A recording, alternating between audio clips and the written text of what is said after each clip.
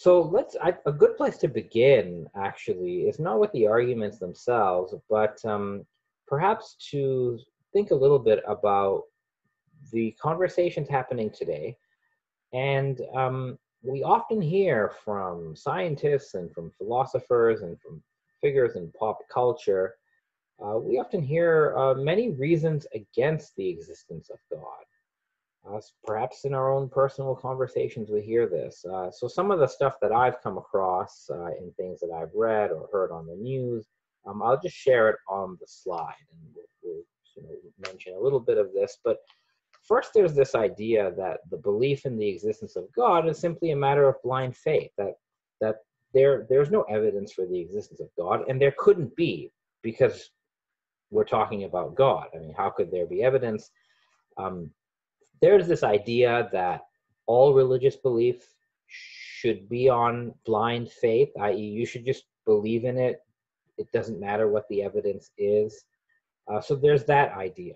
Uh, and if that is the case, then one could validly ask why should anybody take the existence of God seriously if it is only a matter of blind faith, right? In other words, if there are no persuasive reasons for uh, belief in the existence of God, uh, then one should rightly be skeptical. There's also this idea that uh, the existence of God is not a scientific proposition, it cannot be scientifically proven.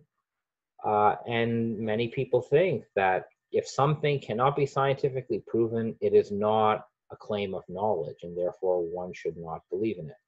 There's a famous argument from evil where um, you know people observe the, the natural evil and moral evil in the world and they conclude that you know if god did exist then this god is permitting evil to take place. And and that seems to be uh, an improbable notion that if such an all-powerful god existed who could sort of intervene in the world uh, that god would prevent a lot of this evil and suffering and disease that we see um, some have referred to latest findings in quantum physics. Some physicists like Lawrence Krauss and others have talked about how uh, in quantum physics things just appear out of nothing, particles appear out of nothing.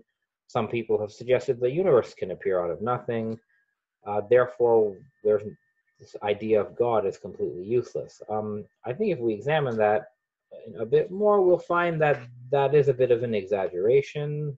Uh, when a lot of physicists say the word nothing, they're not really talking about an absolute nothing. They're talking about the absence of certain conditions, uh, but not a total nothing.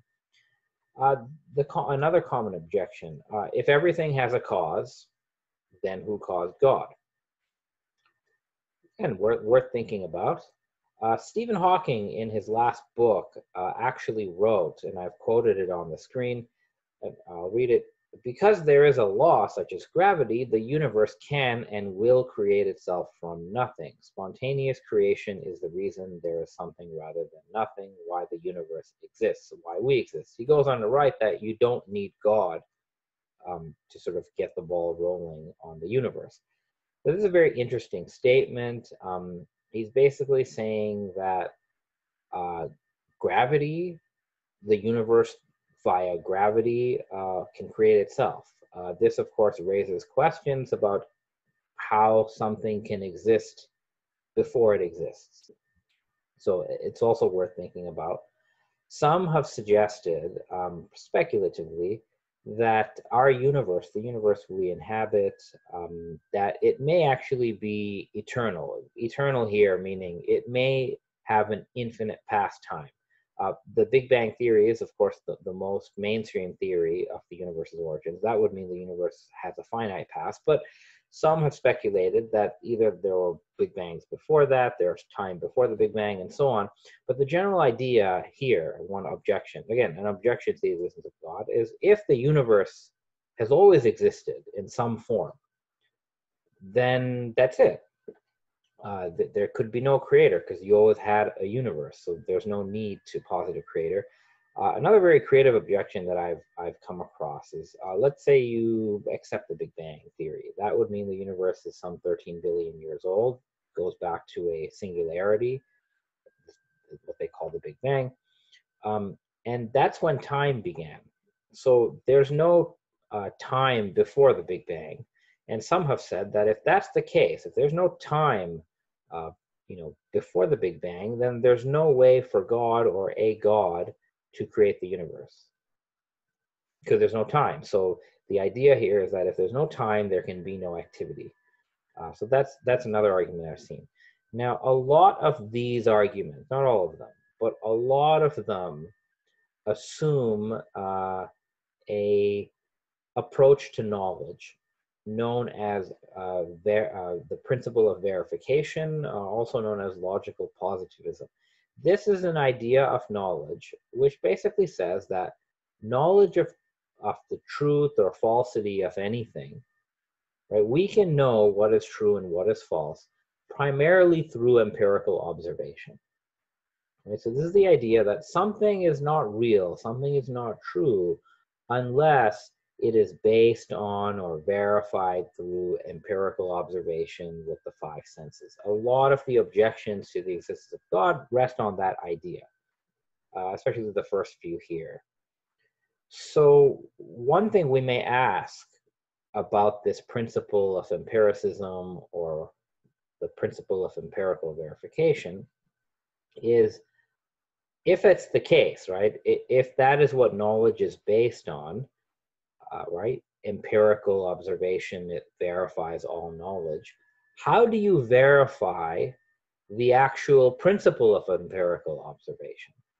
In other words, as one scholar, uh, Aziz Esmail, has written in his book, he says regarding this idea that knowledge of true and false is through empirical observation. He says that it is important to note that the positivist valuation of science is itself not scientific. So he's saying, firstly, that this statement of verification here, it's not actually a scientific claim.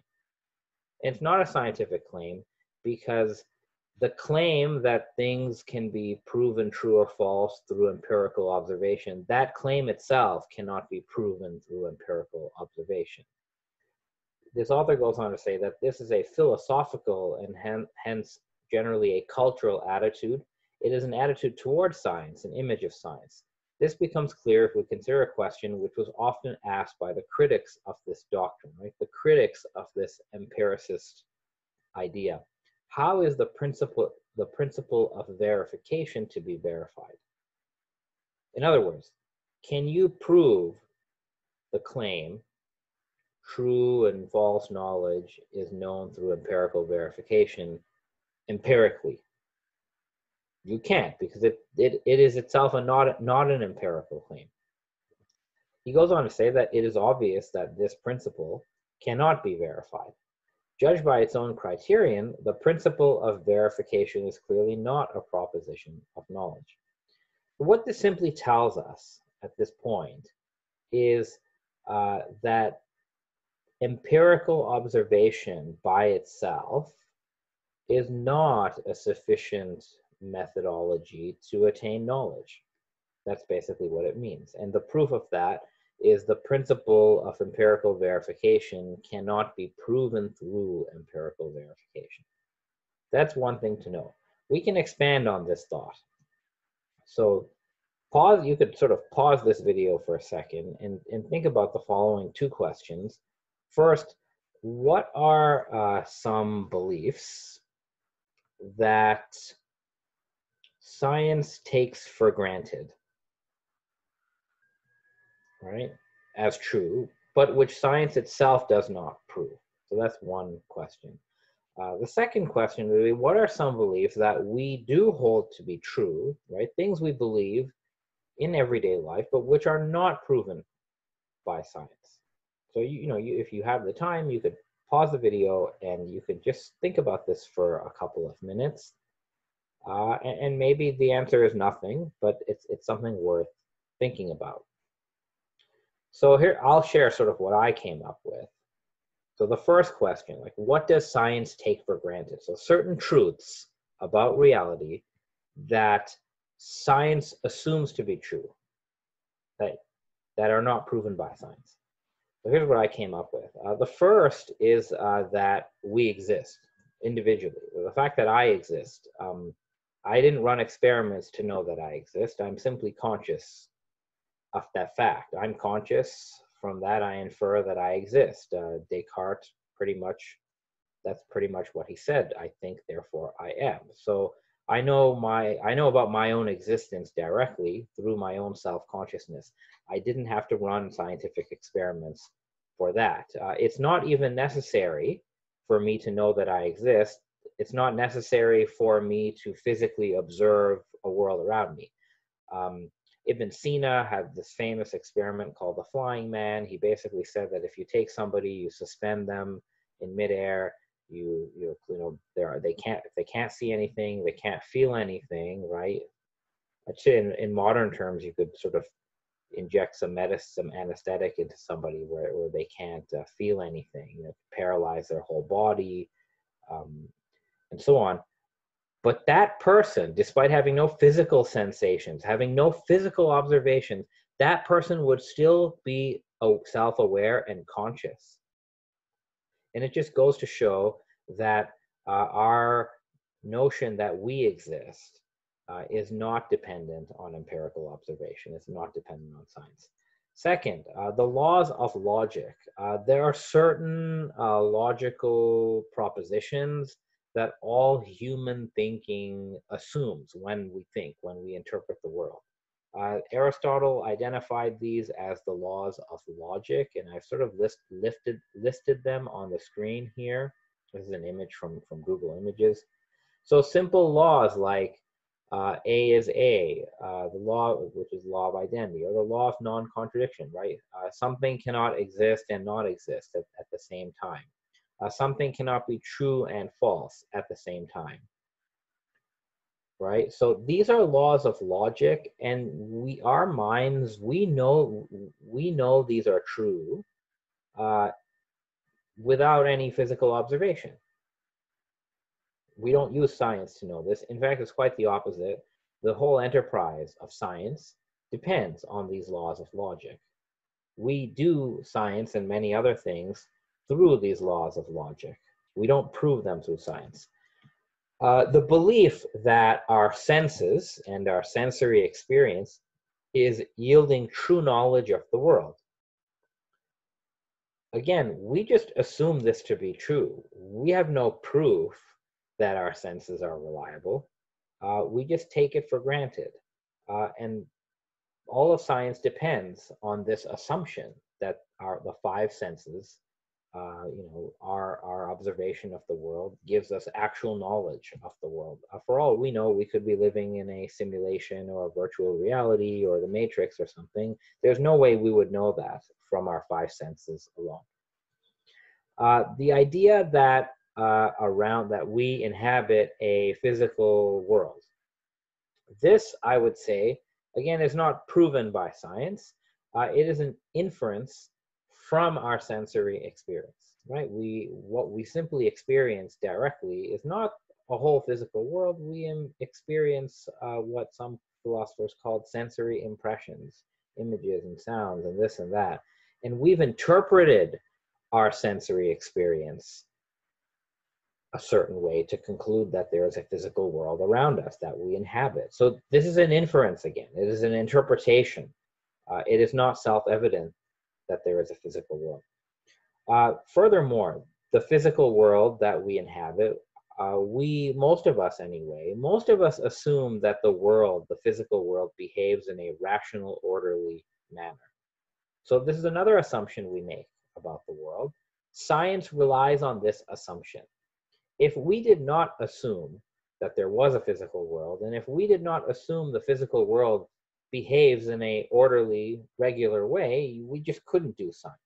The whole enterprise of science would, would, would be impossible if we didn't have this belief about the world. Again, it is a belief. It, it's not something that we prove through science. It's something that science itself depends on.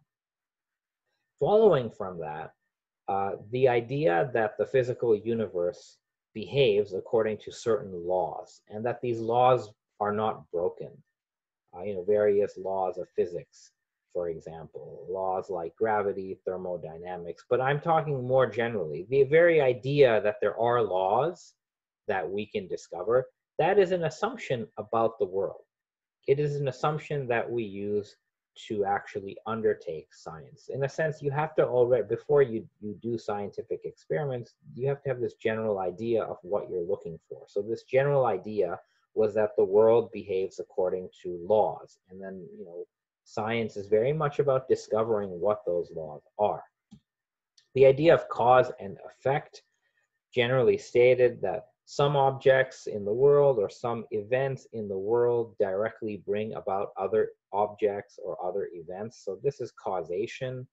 Uh, again, scientific experiments would not make sense uh, without assuming that there is a principle of causation. Forget, and, and beyond science, uh, our activity in the world would not make any sense. It would not be rational to act in the world to obtain certain results if we did not assume causation was a universal principle, right? Cause and effect.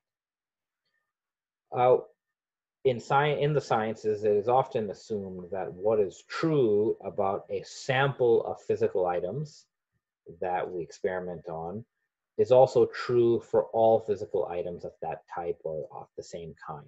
Uh, this is often known as the notion of induction. And this belief, uh, science, a lot of science rests upon the idea of induction, that, that conclusions about particular things can be universalized to at least all the members of that class of things in the world across time and space. Uh, the, finally, the belief that other minds exist. Um, you know, we look at, we interact with people every day. We assume we're dealing with other rational minds. We've never seen anybody's mind, um, but we have made, we've assumed, we've inferred rather, uh, that there the, the person I'm talking to or the person I'm meeting, they also have a rational mind. Uh, we can't observe anybody's consciousness we can't even we know our own consciousness directly. We don't know anybody else's consciousness but we're assuming that other people are conscious. So that that is an inference right? It's not a scientific observation that other people have their own individual consciousness. So again these are things that science depends on science takes for granted. I'm bringing this up because what we're going to find see eventually is that some of these items on this list are also taken for granted uh, in these arguments for the existence of God. Uh, that, that, that's why this is important to know. Um, now, there are also, uh, you know, there are also a number of things that science can't tell us. That science that are outside the scope of science, things that are that are true, but they're outside uh, the scope of science. So I think it's it's worth sort of talking about some of those things.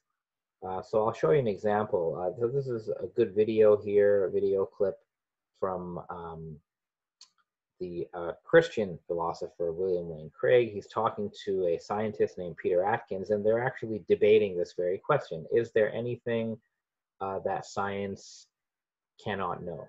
So I'll just uh, play the clip for you. It's just a couple of minutes, but it's, it's certainly worth listening to. So here we go. To deny that science cannot account for everything. Yes, I do deny that science. So what can't it account for? Well, I, had you brought that up in the debate, I had a number of examples that I was going to give. Uh, I think there are a good number of things that cannot be scientifically proven, but that we're all rational to accept. Let me list. Let me list five.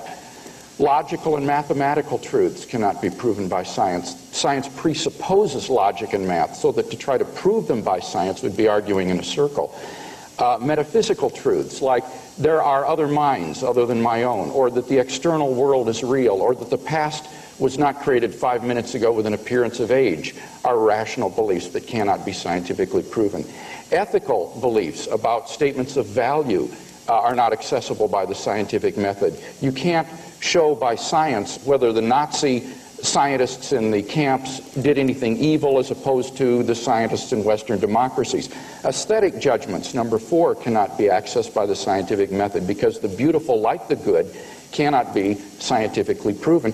And finally, most remarkably, would be science itself. Science cannot be justified by the scientific method. Science is permeated with um, unprovable assumptions. For example, in the special theory of relativity, the whole theory hinges on the assumption that the speed of light is constant in a one-way direction between any two points A and B. But that strictly cannot be proven. We simply have to assume that in order to hold to the theory. But you're missing the So whole. put that in your pipe and smoke it. Yeah, all right. okay. So we are, uh, none of these beliefs can be scientifically proven, and yet they are accepted by all of us, and we're rational in doing so. So, um, back to our regular programming. But anyway, that that was an important uh, an important set of remarks there in terms of what science cannot tell us. So, to summarize what was said, um, the scientific empirical method, you know, is unable to establish a number of things. Uh, and again, the rules of logic, which we've already talked about, mathematical truths. So those of you who've taken cal- uh, advanced calculus and algebra and all these things, or the basic stuff, you may all remember the Pythagorean theorem. So think about how the Pythagorean theorem is proven mathematically.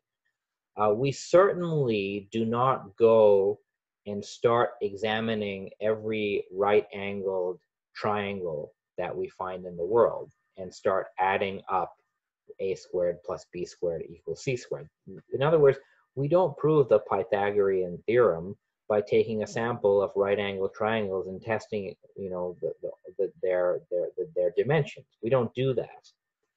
Uh, what we do is we prove it using purely uh, logical principles, logical operations of mathematics. So all mathematics uh, like this is outside the realm of science, and science cannot say anything about that. Uh, the idea that science is the only way to know truth, uh, that idea is also uh, not scientifically proven. It has no scientific or empirical proof. Uh, and it's just like the idea that something is only real if perceived empirically. That claim, again, cannot be proven empirically. Uh, a number of other things that were mentioned aesthetics, notions of beauty, uh, notions of ethics and values, uh, metaphysical truths, if there is such a thing, uh, consciousness, uh, anything that could lie beyond the physical realm. So these things are also outside the realm of science. And again, I'm bringing this up because it, discussions about the existence of God that are taking place today are often uh, hijacked by this claim that uh, well, it's not, you know, God or, or, you know, the metaphysical cannot be scientifically proven, and therefore that's really it.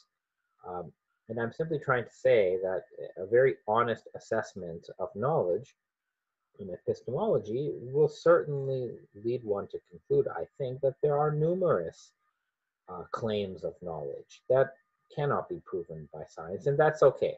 Now, I'm not here to um, attack the very enterprise of science uh, because science actually does some very, very important things for us. Uh, what does science actually do? Uh, I would say that science is in the business of describing or modeling the behavior of physical objects in the world, uh, the interactions of natural phenomena. Uh, I believe that is what the enterprise of science is about. It's it's basically documenting all the laws of how things behave, and for particular behaviors or particular interactions uh, that scientists observe, uh, science can tell us the conditions, the particular conditions that lead to certain behaviors right? So particular variables and conditions that lead to certain interactions and reactions among natural things. I think that's what science is doing. It's very successful in what it's doing uh, because when you can describe and model and predict uh, how natural things are interacting, uh, you can also manipulate it uh, for positive ends, right? This is what technology ultimately is the fruit of so I think that's very important. Uh, uh, an analogy that's been used to talk about sort of what the business of science is is uh, take like you have a, a board game, a, ch- a, chess game or a checkers game, for example. Uh, so hypothetically, let's say that you are watching a game of chess and, and you actually you don't know the rules of chess. You haven't read about it. All you just come across a chess game and you can simply watch the game happen. Uh, if you observe what's going on enough times you could probably by sheer observation and and you know making some inductive conclusions about what you observe you could probably derive all the rules of chess by observing it. You know observe as you know 50 chess games or something. You could derive, derive all the rules. That is sort of what science is like in terms of uh, observing the interactions in the universe discovering the patterns describing them modeling them. That's what the laws of nature are. So one philosopher named edward feser uh, he tells us uh, in an article that he wrote uh, that what science uncovers are in effect the rules that govern the game. That that is the natural world.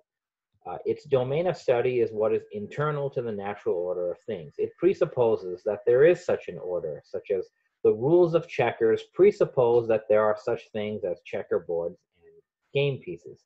Thus, science cannot answer the question why there is any world at all or any laws at all. So let's pause there. So again, uh, if we're watching a game of checkers or chess, uh, science is like observing the game and deriving the rules from observation. Now, we could do that, right? You could derive all the rules of chess or checkers. Uh, and, and, and you could actually not only derive the rules, you could master the whole game just by observation, right? By science, quote unquote. Uh, but that would not tell you where the pieces came from. It would not tell you where the game board came from. It wouldn't tell you why the players are who are those who are playing the game. It doesn't tell you why they're playing the game. Similarly, uh, you could um, learn to play a video game. You could become the best at a video game, uh, master all the, the moves and the rules. Uh, that's sort of like science. Uh, but no matter how good you are at a video game, it doesn't give you any insight into uh, how the game was created, right? You can be the best at like Grand Theft Auto, right? You can beat the game a zillion times, whatever it is. It doesn't tell you, uh, that doesn't get you into the internal code of the video game. So this question, if you're following this analogy, where does the game board come from? Uh, what are the pieces made out of? Why are there why is there a game? Why why are there pieces? These are questions that are beyond science. So similarly um, why there is a uh, why there is a universe at all why there is a physical world at all uh, those are beyond science. And as edward feser says um, to look into the question of why are there any laws of nature at all any laws why is there existence at all uh, as he said, you need to look to philosophical argument, which goes deeper than anything mere physics can uncover. So this question of is there God or a God or a, is there a transcendent reality? Is there a metaphysical reality uh, from which you know this world, this physical reality has come from? Those questions are not scientific questions, they are metaphysical questions, and one needs a different methodology to look at those questions. That uh, and that methodology would be a philosophical methodology. So now we're we're not talking about science per se, right? There's a question of the existence of God is not a scientific question. Uh, it is a question of worldviews, so therefore it is a philosophical question. Uh, that doesn't mean empirical observation is irrelevant to this question, uh, but it is, it is not a strictly empirical question. And there's different types of philosophical reasoning or arguments that one would use to assess a worldview. Because now the idea, now we're talking about worldviews. The idea that God exists and God created the world, that's a worldview. The idea that there is no God and the world is simply on its own, there's only physical reality, that's another worldview. We would assess the worldview by uh, philosophical reasoning. Now, there's you may be aware there's different types of arguments, deductive reasoning or inductive reasoning. What we see in modern science, a lot of it is inductive reasoning. So um, inductive reasoning, which again, this is the dominant sort of form of argumentation in, in scientific work, uh, it's based on the observation of you observe specific cases of something, and then you try to generalize a conclusion from your observations. Uh, it is an inference. Uh, the conclusions of inductive reasoning are probably true. They're probabilistic. They're not certain.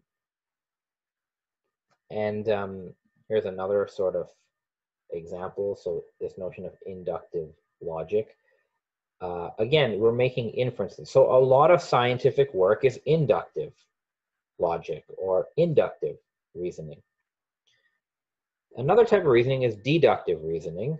In deductive reasoning, you your starting point is is facts, things that you know to be true, or some very general principles that are known to be true.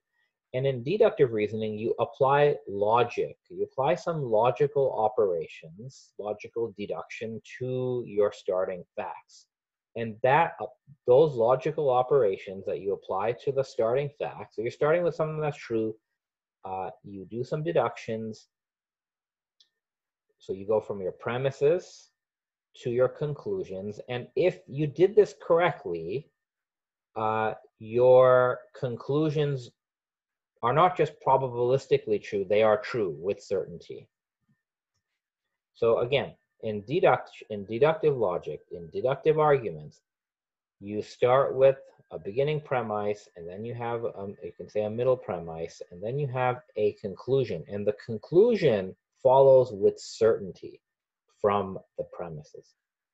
The type of arguments that are used to establish the existence of God are not inductive arguments, but they are deductive arguments. Whereas the type of arguments and reasoning used to establish most scientific claims, most of them, not all, are mainly inductive arguments. Now, we'll, we'll get into the details, but I have to set this up the proper way that this discussion of worldviews, right, when we're debating or discussing about a particular worldview like atheism or theism, uh, deductive logic and deductive arguments are going to be more valuable and relevant, not inductive arguments. So let's talk about worldviews. Uh, one worldview that uh, is associated with atheism is called naturalism. So naturalism, this is one type of atheism. Probably the more more prominent type of atheism that you have today is naturalism. This is the belief that only physical things exist, or in other words, um, all existence is entirely physical or material, Again, it means only physical reality exists. And all things, knowledge, experience, emotions, even what people believe to be spiritual experiences, all of that is reducible to matter or material things. Uh, it would mean that all, um, all, all mental phenomena are actually caused and reducible to physical things. So that's naturalism, right? It's this belief that the physical cosmos is all there is.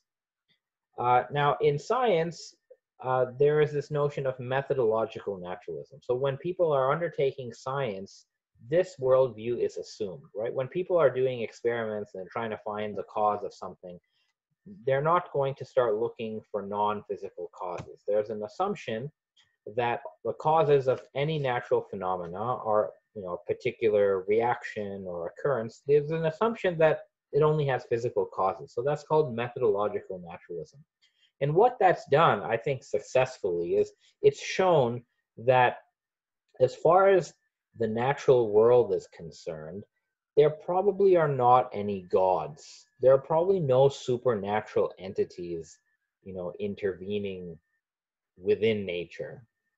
Uh, and, you know, ancient peoples, it's well known, ancient peoples used to believe that many everyday occurrences like uh, uh, like tornadoes and floods and, and good crop seasons and bad crop seasons that that these were caused uh, by supernatural forces, by gods, and, and, you know things like that. And and the you know science has come and shown uh, that this is not the case. There are now there are physical explanations for most of you know that what most of what goes on within nature.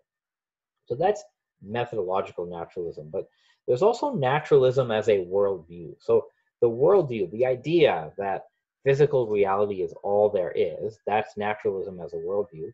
Um, I would propose to you that that is actually unprovable, right? So there's actually no evidence, there's no argument, inductive or deductive, to establish the claim that only physical things exist. This is what David Bentley Hart wrote, and I believe it is in your reading for the week. Uh, I'm going to uh, uh, quote this. So he says that the only fully consistent alternative to belief in God, properly understood, is some version of materialism or physicalism. Or to use the most widely preferred at present, naturalism. Naturalism, he says, the doctrine that there is nothing apart from the physical order and certainly nothing supernatural, is an incorrigibly incoherent concept and one that is ultimately indistinguishable from pure magical thinking. Now, that is quite a bold claim that David Bentley Hart is making, but let's sort of hear him out. Why would he say that naturalism is an incorrigibly incoherent concept and almost like magic? Well, he says that the very notion of nature as a closed system, entirely sufficient to itself, is plainly one that cannot be verified deductively or empirically from within the system of nature. In other words, he's saying that even if, if not, even if this were true, right? If if physical reality is all that exists, right, and there's nothing beyond that, we who exist within physical reality, there's no way we could know this to be true. There's no way we could prove that physical reality that we inhabit is all there is. That's what he means. There's no argument that we have to make this, this claim. He goes on to say that naturalism is a metaphysical, that is to say, it is an extra natural conclusion regarding the whole of reality, which neither reason nor experience legitimately warrants. So he's going, he's actually saying that naturalism as a theory, naturalism is a theory about all of reality. It's actually not just a theory about the natural world, like most scientific theories that we have, they concern uh, what is internal to nature. But naturalism is a theory uh, about all of reality. It's not just about nature, it's all of reality. So he's saying that naturalism is a metaphysical or extra natural conclusion regarding the whole of reality. He goes on to say naturalism can never be anything more than a guiding prejudice so, in other words, naturalism as a worldview does not actually have any logical basis behind it. It doesn't have any empirical basis behind it. Uh, it is actually, you know, to put it bluntly, naturalism as a worldview seems to be a form of blind faith. Uh, he refers to it as a prejudice. It seems to just be a bias uh, because there are no arguments for it. Uh, by its own theory, it could not, it could never be verified. So now there are other forms of atheism that are not exactly the same as naturalism. Like one could talk about uh, Platonic atheism, and that's sort of outside the scope. But I'm just talking here about naturalism. So if we're to assess naturalism as a worldview, I think we would run into a lot of problems. First being that we just simply can't argue, we can't make an argument for it.